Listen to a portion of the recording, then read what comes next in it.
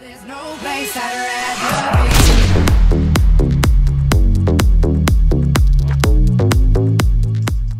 onda chavos? ¿Cómo están? Este es Kiven y bienvenidos sean a este video Esta vez les voy a hacer un video muy emocionante, la verdad Bueno, primero que nada quiero explicarles algo de este video y de lo que van a ver eh, a continuación, ¿de acuerdo? Primero que nada, ¿se imaginan poder saber dónde están los Pokémon de verdad? Y bueno, antes de hacer una pequeña polémica Porque sé que muchos de ustedes se van a empezar a molestar Oh, Kiven, es que ya con eso pierde el chiste el juego y la verdad Bueno, esto es básicamente algo para que ustedes puedan saber más o menos qué esperar en situaciones en las que ustedes se pueden encontrar. ¿Y esto a qué me refiero? Imagínense, por ejemplo, el otro día estaba tratando de grabarles un episodio de Pokémon Go, yendo a buscar Pokémon en mi ciudad. Y la verdad fue un desmadre porque el día que fuimos resulta que no había nada, absolutamente nada. Yo me quedé, no puede ser, es imposible. Puede ser culpa de los servidores. Y no, no era culpa de los servidores, era simplemente porque no había nada literal en donde estábamos. Entonces, después de varios días de investigación y lograr completar el tutorial que les voy a enseñar, la verdad es que quedé muy, muy, muy satisfecho. Es 100% 100, 100%. Las ubicaciones de los Pokémon en el tutorial, la verdad, son reales, literal. Ya las pude comprar, ya tuve la oportunidad. Quiero hablarles un poco de lo que es esto. ¿Por qué haría este tutorial o por qué funcionaría para ustedes? Bueno, imagínense una situación en la que ustedes viven en un barrio chungo. No, un barrio feo, un barrio donde de verdad te da miedo salir porque piensas que te pueden asaltar o cosas así por tener el celular en la mano. Porque no estás pendiente, porque lo que sea. Imagínate que definitivamente estás en la tranquilidad de tu casa, no quieres saber si saliendo y arriesgarte a las calles te puedan asaltar. Entonces lo que haces es primero revisas qué tipo de Pokémon hay para luego decidir si sales o no. Eso estaría muy muy bueno. Entonces por esto que más que nada este, este tutorial serviría.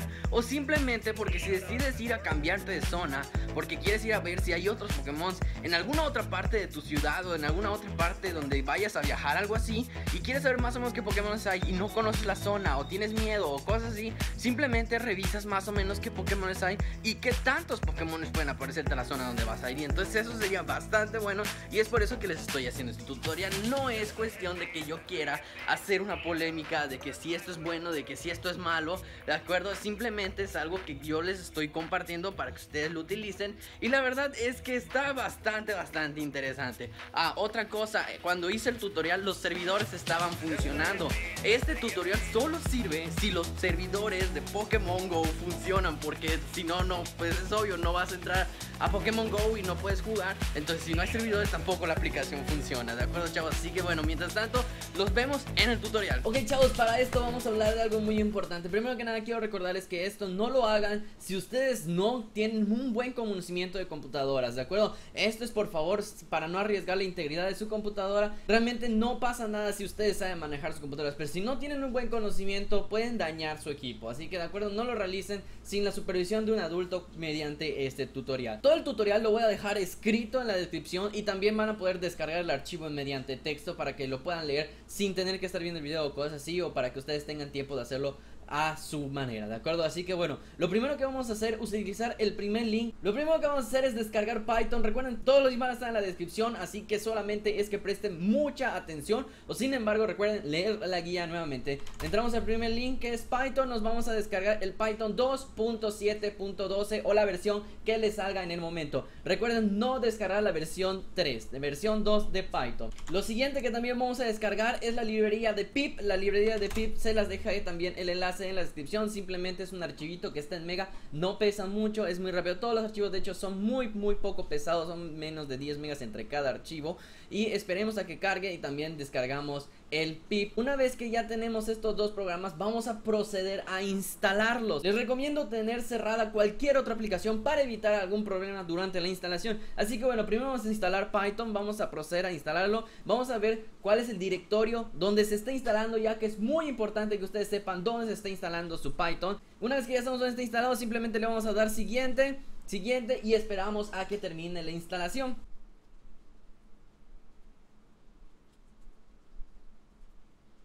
Una vez que tenemos esto listo, le damos a finalizar. Una vez que ya tenemos instalado, vamos ahora a instalar el pip. El pip le podemos hacer doble clic. Esperamos a que se instale, no hay ningún problema. Va a empezar a descargar unos cuantos archivos. No tengan miedo, simplemente es que se está conectando al servidor para poder descargar los archivos necesarios del pip. Una vez que dice successful, se va a cerrar y ya con esto ya tenemos instalado pip. Lo siguiente que tenemos que hacer, y este paso es muy importante y es por eso que les había comentado, traten de no hacerlo si no tienen conocimiento de computadoras, es dirigirnos a equipo. Lo que vamos a hacer es dirigirnos a equipo, seleccionamos equipo, propiedades. Luego vamos a ir a configuración avanzada del sistema. En configuración avanzada del sistema nos vamos a variables de entorno. Y una vez dentro de variables de entorno nos vamos a path. Aquí lo que vamos a hacer en path va a ser seleccionar editar. Y una vez dentro de editar vamos a agregar dos links básicamente. Esos links que son va a ser en dónde está instalado su Python y dónde tiene la librería pip. Eso es muy importante. Así que definitivamente si ustedes prestan atención dónde se está instalando su Python, sabrán, por ejemplo, en mi caso, Python lo instalé en C Python. Así que vamos a copiar esta dirección. Ponemos una vez que estemos dentro de la carpeta de Python, ponemos C, seleccionamos arriba, control C y una vez que estamos aquí nuevo, agregamos la ruta y le damos aceptar. Una vez que ya tenemos Python agregado, ahora vamos a incluir también la librería de pip. La librería de pip la vamos a encontrar en scripts. Y aquí scripts también vamos a agregar scripts. Estas dos son muy importantes que ustedes las agreguen. Una vez que ya tenemos estas dos librerías agregadas Les vamos a aceptar, aceptar, aceptar y listo. Con esto ya tenemos agregados los comandos a Windows. Ahora, lo siguiente que tenemos que hacer es abrir una ventana de CMD Esto lo podemos hacer mediante dos formas. Vamos a apretar inicio y buscar el botón de ejecutar O podemos usar si tienen Windows 10 escribimos ejecutar o también podemos hacer una tecla rápida que es apretando la tecla de Windows y la tecla R al mismo tiempo. Se va a abrir esta ventana que se llama ejecutar. Y dentro de esta ventana de ejecutar escribimos CMD. Una vez dentro de CMD, vamos a escribir lo siguiente. Copiamos y pegamos dentro del tutorial lo siguiente. The Speed Install Protobuf GeoPIF Request Sphere Que son básicamente las librerías que necesitan para que funcione estas librerías de PIP Vamos a esperar y darle tiempo ya que va a tardar eh, en que Windows haga esto. Si por algún extraño motivo todavía no les funciona o les dice que Windows no reconoce la librería, no reconoce el comando pip, no reconoce el comando Python, en dado caso los invito a que reinicien su computadora para ver si ya funciona. Así que una vez que ya tenemos todo esto descargado, ya nada más vamos a ver que va a regresar a user tsm y ya tenemos esto instalado, ya tenemos las librerías. Lo siguiente que tenemos que hacer ahora va a ser descargar el código fuente de la aplicación. Vamos a usar el siguiente link. Vamos a irnos al código fuente, que es un GitHub. Y aquí en GitHub vamos a encontrar una versión la más reciente actualizada. Vamos a buscar donde dice clone or download, le vamos a dar download de zip, vamos a descargarlo y una vez que lo hemos descargado vamos a abrirlo. Esta si queremos en nuestro escritorio para que lo tengamos en un acceso fácil Entramos a la ventana. El siguiente paso que vamos a hacer dentro de esta ventana es dejar apretada la tecla de Shift y apretar clic derecho. Con esto nos va a salir una nueva opción que se llama abrir ventana de comandos. Aquí dentro de esta ventana de comandos vamos a utilizar el siguiente comando que también está en la descripción y en la guía, que es pips install diagonal error requirements text. Lo que va a hacer es va a descargar todos los archivos necesarios que sirven para que funcione el código fuente. Una vez que hayamos terminado de descargar los archivos ya lo podemos cerrar con toda la calma y el siguiente paso va a ser crearnos una cuenta de Pokémon en el Pokémon Trainer Club. Es muy importante que esta cuenta que creen va a ser la cuenta que van a utilizar. No utilicen su cuenta principal porque los pueden banear por hacer esto, ¿de acuerdo? Así que creamos una cuenta nueva totalmente diferente, excluida de la cuenta que nosotros estamos utilizando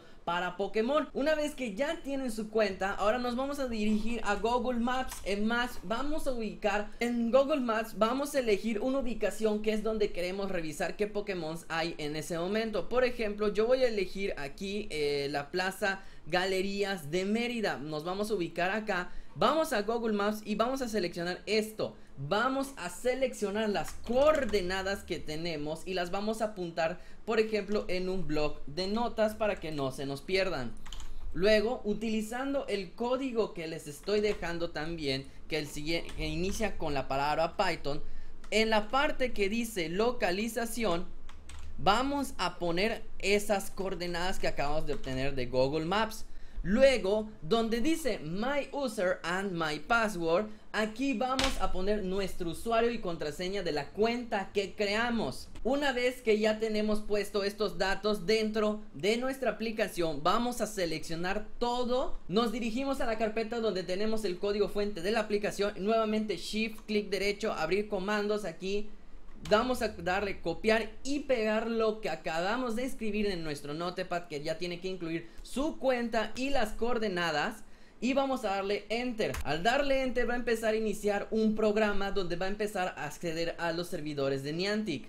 Al hacer esto, vamos a abrir una nueva ventana con la IP que les dejé, que es básicamente una IP local y lo que van a tener acceso es los Pokémon que van a empezar a cargar en tiempo real desde la aplicación. Con esto podemos ver qué Pokémon se están apareciendo justo donde yo puse ese ping y lo que va a hacer la aplicación es va a crear un círculo que va a ir creciendo hasta un radio de 10 pasos. De radio de 10 pasos es básicamente los pasos que salen en la aplicación de Pokémon Go. Así que este círculo va a ser bastante grande. Otro dato importante es que vamos a poder ver en cuánto tiempo va a desaparecer el Pokémon que acabamos de ver. Por ejemplo, en Plaza Galerías, la primer pasada que de hecho la tenemos aquí, va a estar realizando varias pasadas, va a estar dando varios pasos la aplicación, va a estar actualizando el mapa conforme pase el tiempo. Podemos ver, por ejemplo, que cerca donde estamos hay un cadabra, ¿de acuerdo? Y si nos vamos más al norte va a aparecer un Weedle y todo esto vamos a poder tener acceso en tiempo real durante el tiempo que tengamos abierto esta ventana de comandos. Si ustedes quieren cancelar esta búsqueda, deben de apretar control y C. Una vez que hagan esto, no pueden volver a tocar la ventana porque si no, se cierra. Por ejemplo, ya tengo cargada esta información, tenemos bastantes Pokémon buenos. Puedo cancelar hasta aquí, ya no me interesa nada más. Cancelamos el comando. Al cancelar el comando yo ya tengo acceso a esto Todavía van a seguir avanzando los contadores No tengo ningún problema pero como les dije, si ustedes por accidente vuelven a apretar F5, ya cerraron la conexión que ustedes tenían con el servidor y por lo tanto no pueden volver a tener acceso a menos de que vuelvan a repetir el último código que es copiar su cuenta con las coordenadas. ¿De acuerdo? Y esto lo pueden hacer en cualquier momento, pueden incluir cualquier ubicación que ustedes encuentren en Google Maps para que ustedes puedan pinguear los Pokémon que están buscando. Chavos, también los invito a que no abusen de este sistema ya que este sistema está en unas etapas muy tempranas y todo el tiempo están actualizando este código fuente. Si por algún motivo en el momento en que ustedes estén viendo este tutorial no tiene acceso o ya no sirve, en la descripción voy a poner hasta arriba que ya no funciona el tutorial y es en ese momento que por algún motivo tal vez hayan cambiado la forma en que funcionan los servidores de Pokémon o tal vez el código o la persona que se estaba dedicando a hacer este código lo abandonó. Este es un proyecto independiente de una persona que se dedicó a hacerlo conjunto a otras personas en Reddit. Así que la verdad muchísimas gracias a la persona que lo dejó. Muchísimas, muchísimas gracias por todo esto. Y recuerden no abusar. Realmente la única ventaja como yo dije, la única ventaja que tiene esto es simplemente tener una pequeña idea de qué es lo que podemos encontrar en las zonas en las que vamos a buscar. La aplicación es 100% precisa, yo ya la utilicé más que nada porque hace tiempo que quería atrapar un Abra y no lo encontraba, ¿de acuerdo? Así que chavos, espero que les haya gustado la guía. Si tienen alguna duda que sea respecto a la guía que no hayan entendido bien, por favor déjenme en los comentarios. Cualquier error que les salga, por favor tenga la paciencia de investigarlo por su cuenta o entren al foro de Reddit que también lo voy a dejar en la descripción donde ustedes pueden estar entrando. Está todo en inglés, sin embargo ahí pueden consultar con las personas que están ahí. ¿De acuerdo chavos? Yo me despido, hasta luego.